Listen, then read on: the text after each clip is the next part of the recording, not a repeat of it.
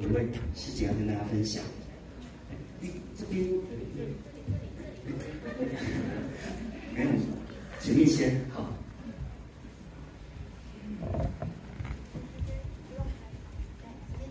好，嗯，先感谢创办人魏老师、林老师。然后我我昨天听到林老师说那个长生学的那个这个呃它的含义，那个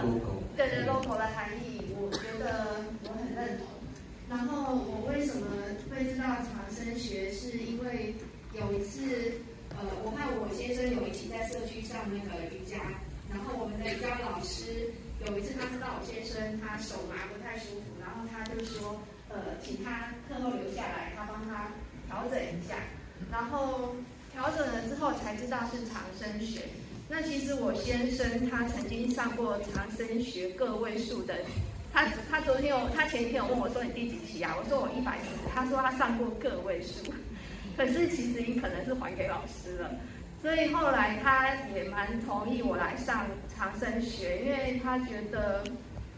这样我就可以回去帮大家帮全家人。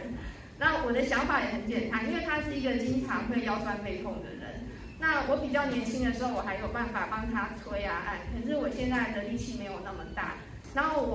学到长生学之后，我觉得非常赞诶，就是 就算你没有不是一个很有力气的人，你也是有机会可以帮助别人，甚至是遇到一些急救的事件，当下如果没有没有任何的，你一双手也可以帮助别人。我觉得这个非常值得去学习。然后，呃，我看到义工师兄师姐的付出，我也很感动。然后，我希望有一天，就是我我和同学一起来的，希望有一天我和同学也有机会可以像你们一样，然后一起来帮助大家。谢谢。谢谢大家分享。这几天上完课之后回到家里面，大概花多久时间自己静坐啊？然后让他先生调整有，我有，就我第一天上完课回家，我先生就说他闪到腰了，我也不知道为什么这么巧。然后我有帮他调整，但是调整了半小时，我调整了半小时之后，他就有点生气，他就说你手怎么那么热，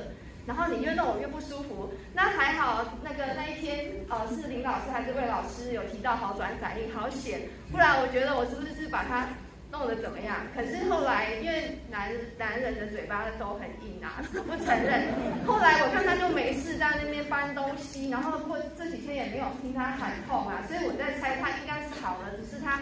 不想承认，对，他就好了。那我自己的话就是，呃，睡前我会静坐一下，那因为就是时间比较有限，所以我就是利用睡觉还没睡着之前，我会调我自己的这个，就是以前用滑鼠过度了。这边有一个点，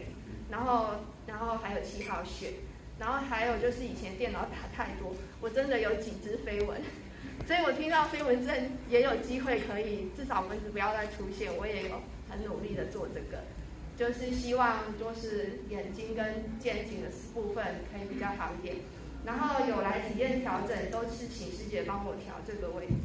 那有有感觉又比较舒服，对，谢谢。谢谢，谢谢你分享。